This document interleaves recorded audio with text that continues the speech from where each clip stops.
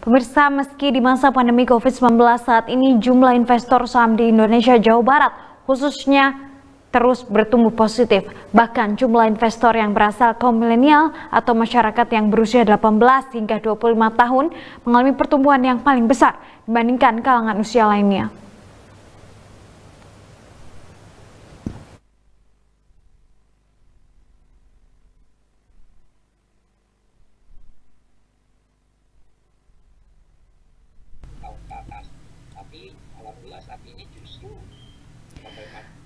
Terungkap dalam workshop online berdasarkan pencatatan Bursa Efek Indonesia, saat ini jumlah investor saham di pasar modal terus bertumbuh positif.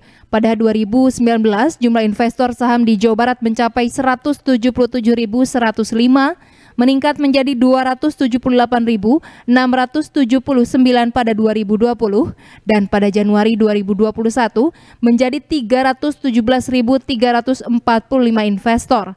Sedangkan jumlah single identification di atau SID pasar modal di Jawa Barat pada 2019 mencapai 457.477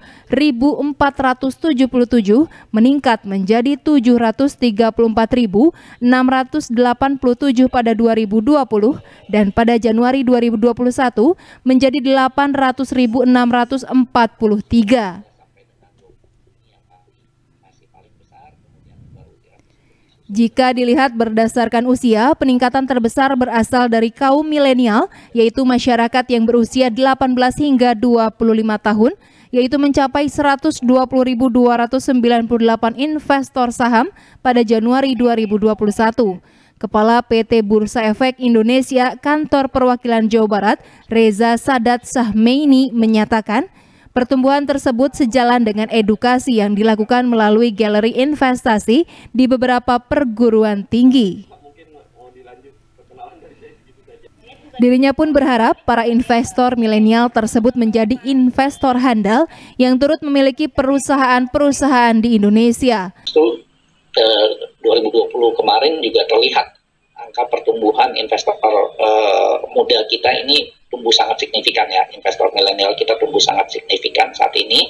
Dan kemudian juga uh, kita berharap juga nantinya juga eh, investor-investor ini jadi investor-investor handal di pasar modal ya yang betul-betul bisa merasakan manfaat dari berinvestasi di pasar modal turut serta menjadi pemilik dari perusahaan-perusahaan besar kita yang punya prospek yang bagus dengan semakin banyaknya investor lokal di Jawa Barat khususnya, Reza berharap kelak berbagai perusahaan yang bertumbuh positif di Indonesia tidak lagi dikuasai investor asing tapi oleh investor lokal.